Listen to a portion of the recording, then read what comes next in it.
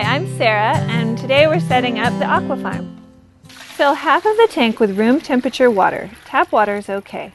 One, add one pouch of fish prep and a quarter capful of dechlor.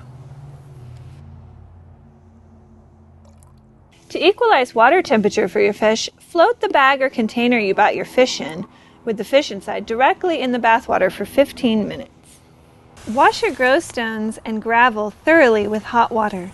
You can use your plant pots as colanders. Add a little of the bathwater to the fish container to help acclimate the fish.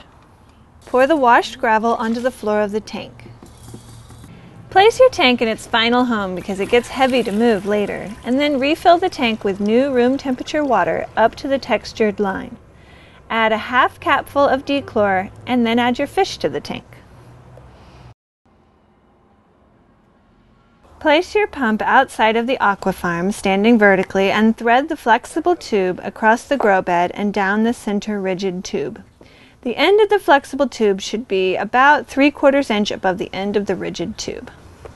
Plug the pump into the nearest outlet and make sure it's on high.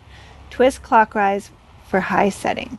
Reattach the grow lid. Fill each pot with washed grow stones and place each pot back into the grow lid. Pour the entire Zimback bottle evenly over the grow stones in each pot. Add your seeds or starts, and your aquafarm is ready to go.